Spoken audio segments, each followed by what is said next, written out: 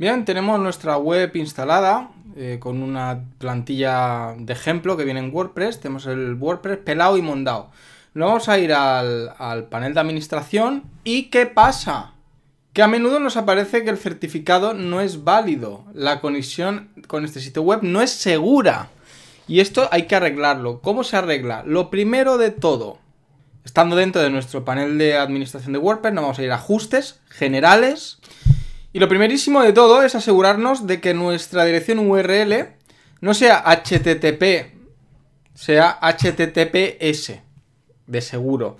Como lo hemos hecho con Vana Hosting, el certificado SSL es gratis, es decir, el candadito, que parece como segura la página, es gratuito. Y esto se configura desde el cPanel. Nos vamos a nuestro host de turno, yo lo estoy haciendo con Vana Hosting. Pero en cualquier hosting tenéis un cPanel. Nos vamos al cPanel. Y en nuestro cPanel tendremos un apartado se llama apartado de seguridad. Y tenemos aquí varias herramientas. Vamos a darle a SSL barra TLS. Le vamos a dar a Manage SSL Sites. Nos vamos abajo del todo donde pone instalar un SSL website. Y vamos a seleccionar el dominio.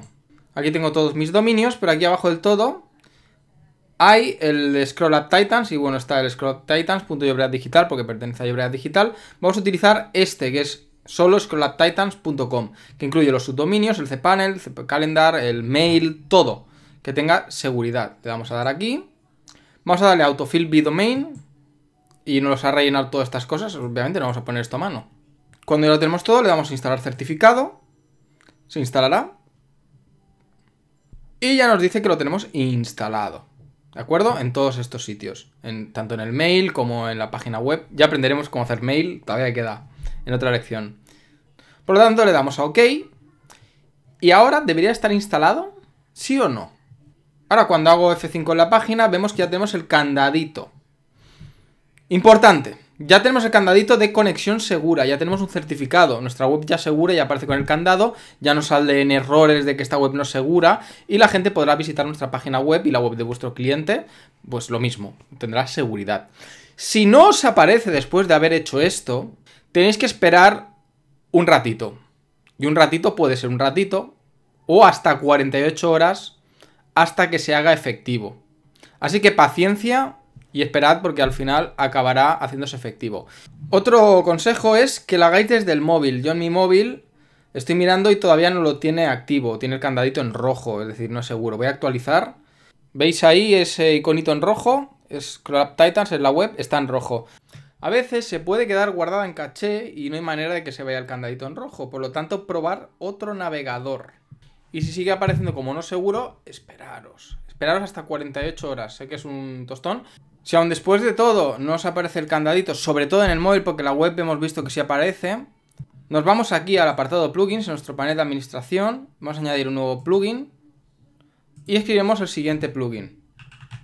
Escribimos Really Simple SSL, como lo tengo aquí escrito, es este candadito de aquí, instalar ahora, lo activamos, nos aparecerá esto de aquí en la configuración y se ha detectado un certificado SSL, que es el que le hemos instalado nosotros en el cPanel.